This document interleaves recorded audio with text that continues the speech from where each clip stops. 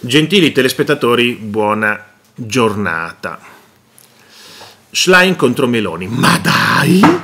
Ma veramente? Ma non avrei mai immaginato. Dice il soffitto di cristallo non è stato abbattuto perché sei arrivata tu. Bisogna battersi ogni giorno per le donne. Ma Schlein, cosa dovrebbe fare questa Meloni ogni giorno che si sveglia per le donne? Che deve fare? Eh? Spiegacelo tu. Che cosa dovrebbe fare questa Meloni ogni giorno, ogni giorno per le donne? Boh, ma probabilmente non lo sa neanche lei. Provate a chiedere a Schlein, se lei fosse premier, cosa farebbe ogni giorno per le donne?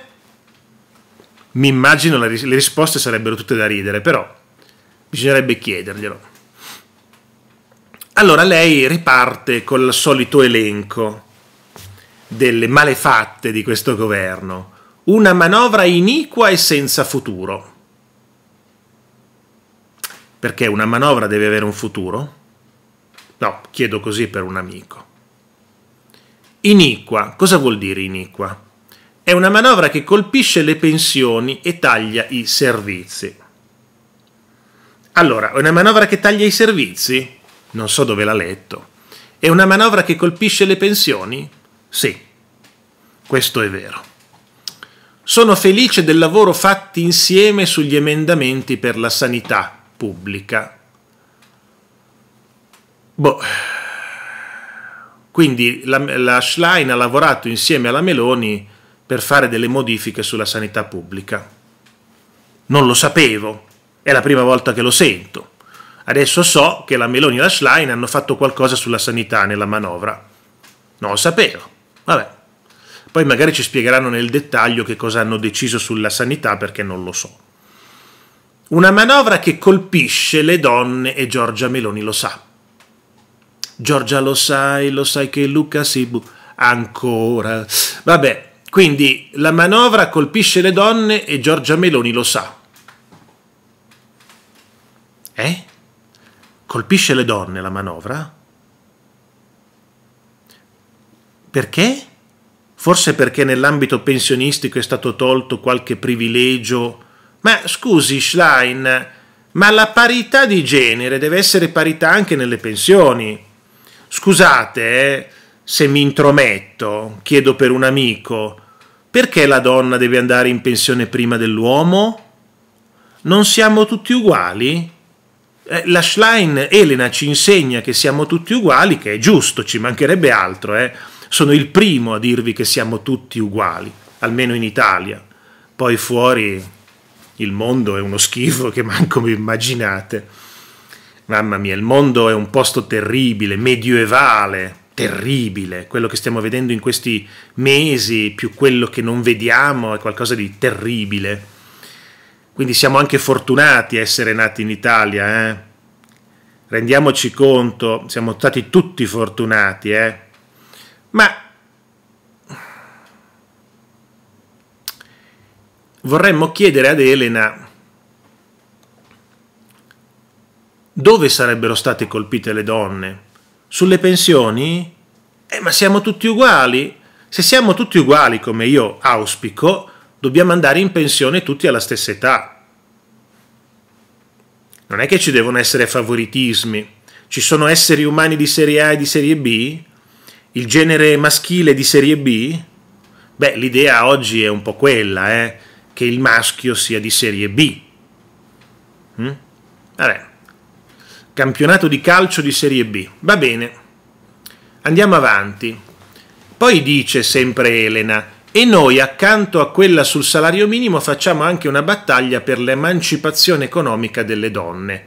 Su questo sono anche d'accordo, il, uno stipendio, lo stipendio di una donna deve essere esattamente uguale a quello di un uomo. E poi dice, noi dobbiamo sostenere l'occupazione femminile per la redistribuzione del carico di cura delle famiglie. Eh? Approviamo un congedo paritario di almeno 5 mesi retribuito al 100% per entrambi i genitori che non sia trasferibile tra di loro. Beh, caspiterina, tu hai un figlio e stai a casa tutti e due cinque mesi. e le aziende come vanno avanti? Eh?